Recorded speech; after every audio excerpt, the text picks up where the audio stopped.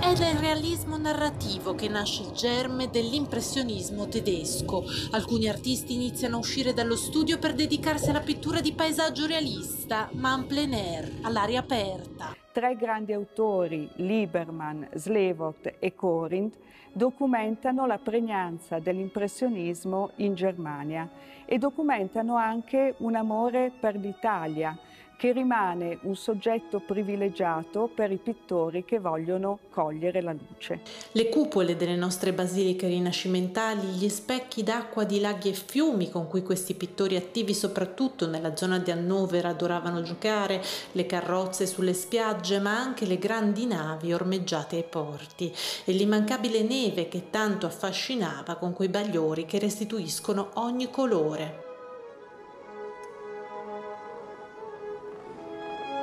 Ad Aosta, all'interno degli spazi espositivi del Museo Archeologico Regionale di Piazza Roncas, fino al 29 novembre, il progetto espositivo inedito viene proposto per la prima volta in Italia ed è il frutto della collaborazione istituzionale tra la Regione Valle d'Aosta e il Landesmuseum di Hannover, che vanta delle collezioni di arte tedesca dell'Ottocento e del Novecento tra le più celebri al mondo.